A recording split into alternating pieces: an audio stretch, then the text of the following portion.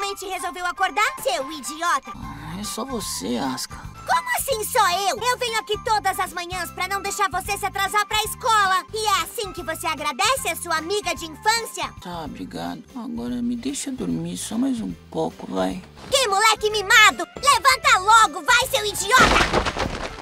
Ah! Pervertido, não acredito! Eu não tenho culpa.